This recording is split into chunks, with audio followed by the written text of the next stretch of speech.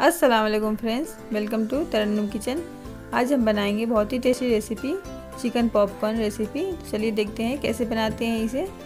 सबसे पहले मैंने यहाँ पे लिया है चिकन बोनलेस यहाँ पे मैंने छोटे छोटे पीस कर लिए हैं। तो आप चाहे तो इसे भी छोटा ले सकते हैं। तो यहाँ पे मैंने ले लिया है चिकन और इसमें डालेंगे हम एक चम्मच धनिया पाउडर, एक छोटी चम्मच इसमें डालेंगे हम काली मिर्च पाउडर, चिल्ली फ्लेक्स, एक छोटी चम्मच। इसमें डालेंगे सौंठ का पाउडर। आपके पास सौंठ पाउडर नहीं है तो आप अदरक लहसुन का पेस्ट डाल सकते हैं। यहाँ पे डालेंगे हम लेमन जेस्ट इसे हम नींबू के छिलके को हमने ग्रेट कर लिया है। तो यहाँ पे डालेंगे नमक स्वाद अनुसार। ऐसे डालकर सभी तमाम चीज़ों को हम मिक्स कर लेंगे। यहाँ मिक्स करने के बाद हम इसमें डाल देंगे, हमने एक अंडा को अच्छे से फेंट लिया है। अब इसमें हम डाल देंगे, इसके बाद हम डालेंगे एक कप जैसा ब्रेड क्रम तो इसे डालकर हम मिक्स कर लेंगे। मिक्स करके हम इसे रख देंगे करीब 20 से 30 मिनट के लिए अच्छे से मैरिनेट होने के लिए। जब तक हमारा चिकन मैरिनेट हो रहा है, तब तक हम यो डिप बना लेते हैं।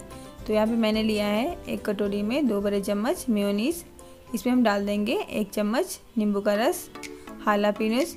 तो यहाँ पे मैंने हाला पीनस का अचार लिया है और यहाँ पे डालेंगे चिल्ली फ्लेक्स, चिल्ली सॉस। ये सब डालकर हम अच्छे से मेयोनीस को मिक्स कर लेंगे। ये अच्छे से मिक्स करने के बाद हम इसे पॉपकॉर्न के साथ सर्व करेंगे। तो आप ज़रूर बनाइए। इसके साथ पॉपकॉर्न बहुत ही टेस्टी बनता है। तो बहुत ही टेस्टी लगता है ये खाने में भी। तो आप इसको ज़रूर बनाएँ। तो इसे हम साइड में रखेंगे। अब यहाँ पे मैंने ब्रेड क्रम में लिया है। और यहाँ पे मैं चिकन को इस तरह से ब्रेड क्रम में लगा कर अच्छे से यहाँ पे सभी चिकन को रेडी कर लूँगी। तो यहाँ पे रेडी है हमारा चिकन तो अब चिकन को हम यहाँ पे तेल गर्म हो चुका है। इसमें हम फ्राई करेंगे। तो यहाँ पे हल्का ब्राउन करके हम फ्राई करेंगे इसे। गैस का फ्लेम करके कम करके फ्राई करेंगे। तो इसे हम फ्राई कर लेंगे अच्छे से। तो यहाँ पे देखिए इस तरह से कितना अच्छा कलर आया है, हमारा चिकन पॉपकॉर्न का। तो इस तरह से हम फ्राई करेंगे और एक पेपर पे निकाल लेंगे। तो यहाँ पे इस तरह से आप फ्राई करिए। देखिए कलर कितना खूबसूरत है। तो इस तरह से हम फ्राई करके निकाल लेंगे हमारा चिकन पॉपकॉर्न तो यहाँ पे रेडी है हमारा। इसी तरह से बाकी चिकन भी हम फ्राई कर लेंगे।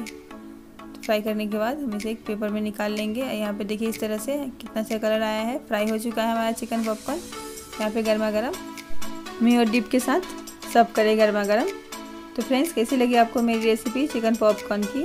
तो ज़रूर ट्राई करें आप। अगर आपको पसंद आए तो मेरे चैनल को सब्सक्राइब करें वीडियो को लाइक करें। तो मिलते हैं अगली रेसिपी में। तब तक के लिए अल्लाह हाफिज़।